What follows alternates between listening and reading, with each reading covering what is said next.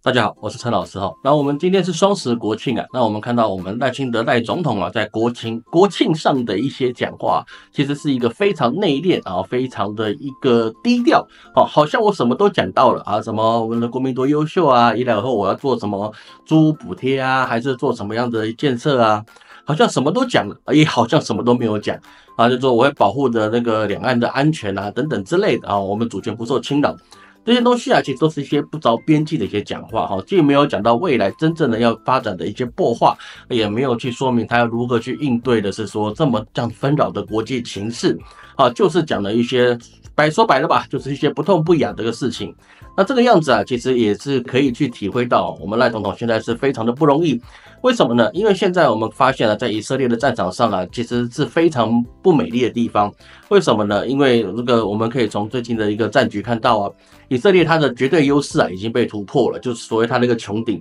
穹顶大家都知道是做低做那个低空火箭炮的防御啊，但是还是一件话，哦，这个没有人会去用导弹攻击它，所以说大家都以为是说这个东西它是坚不可摧的，所以说你周边的一些小国家也是打不动它。但是当你的那个 A T 立场被打破之后啊，那你后面就很难讲。说像以色列状况很不理想，包含它地面作战也是一个不断的铩羽而归。那在这个状况之下，在乌克兰战场上面也是非常的不理想。我们之前说过，红军村基本上你是可以拿下来的。那现在的整体的状况是，乌克兰它无论是雇佣军或者是他们正规军啊，都已经消灭的差不多了。好，后面的有生战力啊，其实你要补起来是非常的困难。所以说，俄罗斯现在的气焰非常嚣张。好，他已经不跟你谈什么和不和谈的问题了，就看你什么时候投降的问题。啊，这个我们可以礼拜天再谈。所以说，在这个内忧外患之下，欧美国家是没有办法多余的余力啊，在处理在亚洲部分多一场的战争。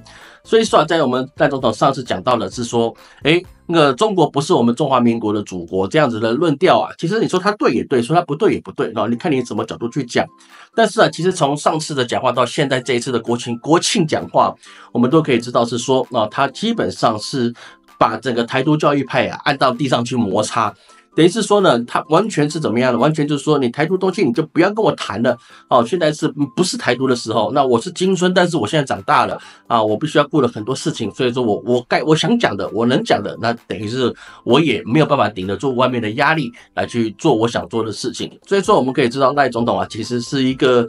顶了蛮多压力的事情，然后导致他想要发挥的政治理念呢啊，人家都我们都知道啊，新官上了三把火，但是赖总统现在其实这个火是被外部的压力压制到，他现在没有办法去讲，这里面包含了很多的问题哈。其实最近我们看到中国的股市或者是或者是韩国跟日本的一个经济的倒退，这其实啊都会在警醒台湾现在我们的处境是非常非常的危险，所以是说呢，其实。你在整个层面来讲，我们还是只能说赖总统他还是顾局顾全大局的，哪怕他自己抛弃台独的暂时的立场了，他还是要想办法先听话啊！我不我不一意孤行，我是自己先就夹着尾巴做人吧。说白了，这个有点难听，但是有时候啊，胆小是最好的活的怎么生存之道。